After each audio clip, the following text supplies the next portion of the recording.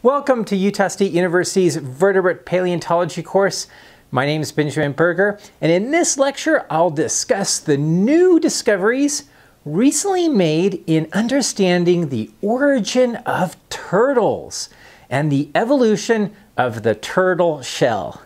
Turtles arose during the late Permian and early Triassic periods, but it was during the Mesozoic that they became more diverse and abundant.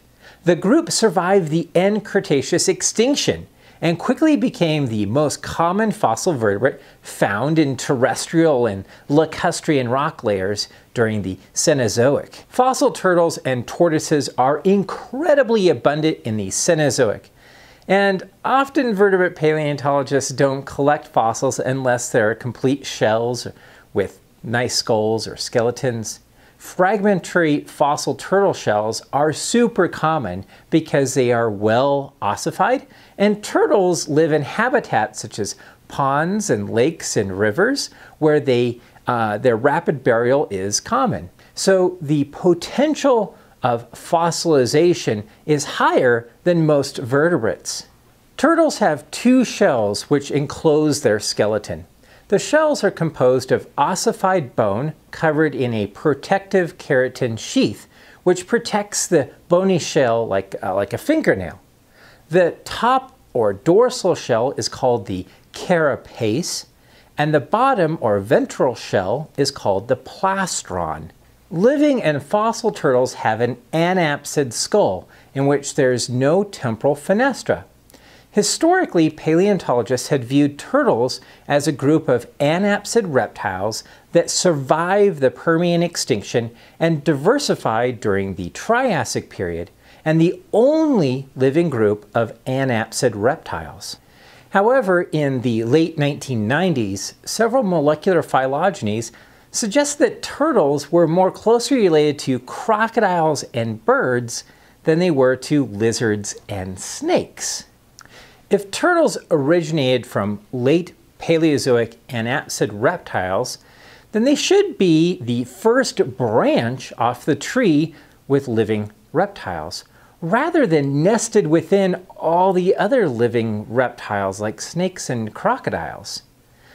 This made paleontologists start to look more carefully at the anapsid theory of turtle origins.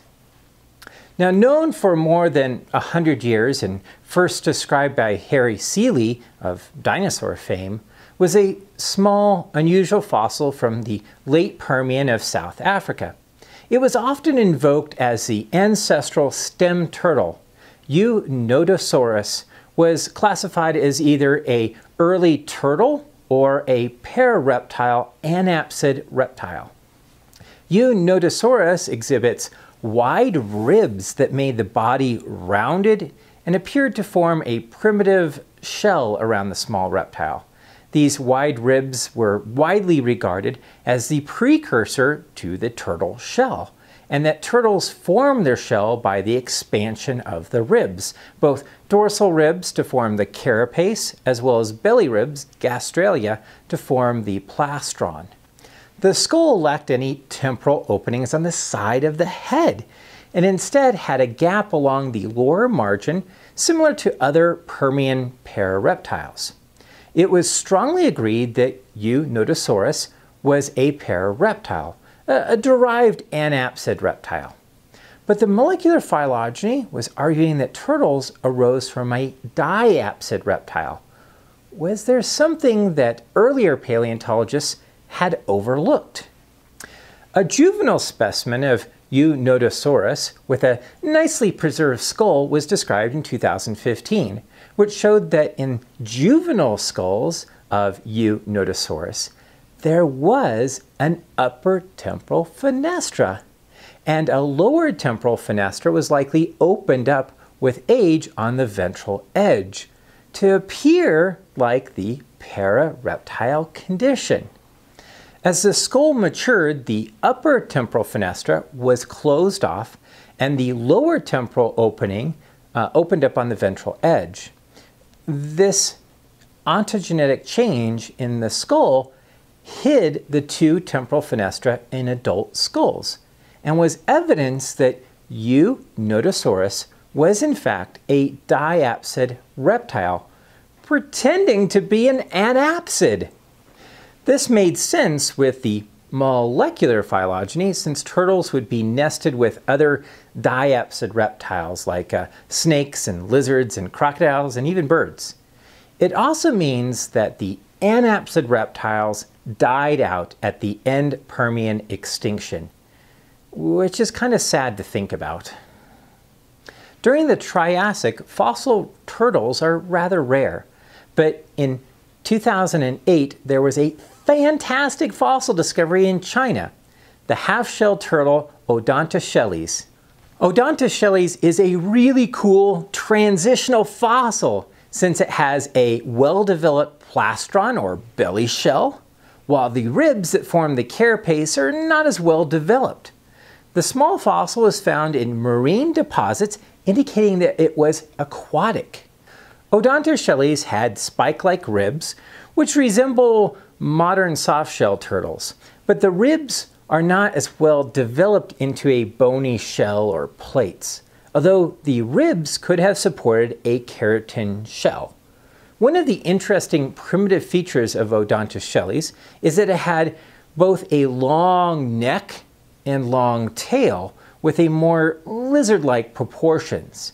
This indicates that Odontochelys did not tuck in the head into the shell like modern turtles do. Long tails in fossil turtles are fairly common, despite living turtles having shorter tails that can often fit inside the shell.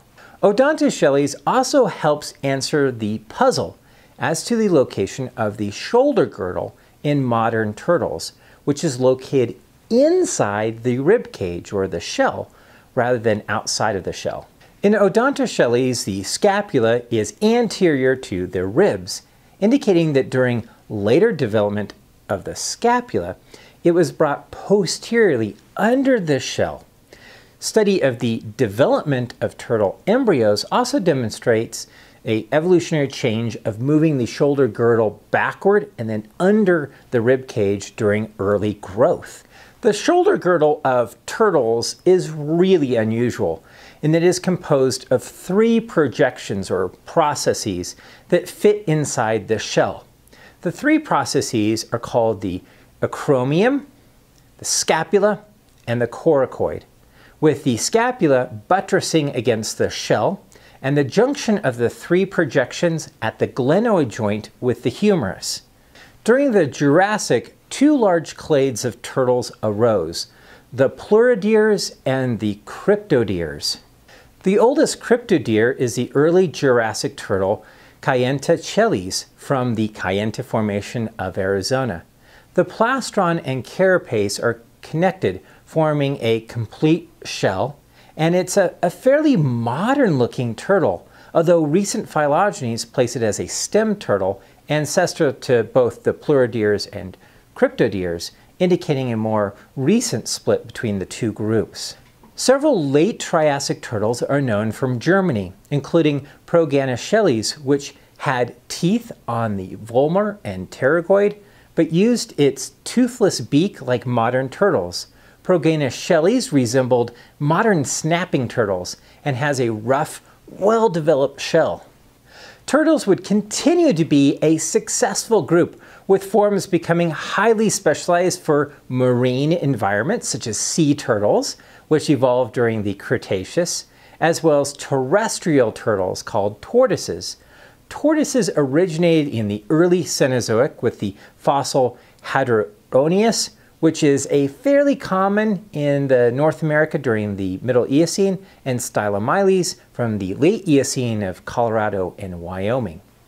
Okay, so you should be able to describe the recent theory regarding the origin of turtles and why they are diapsid reptiles disguised as anapsid reptiles and that they diversified during the Mesozoic and Cenozoic eras. In the next video, I will detail to you how to distinguish the two groups of modern turtles, the pleurodires and the cryptodires. Thank you for watching. If you'd like to learn more about Utah State University's geology program, Check out the website geology.usu.edu or my own website at benjamin-burger.org. Links are found in the description below.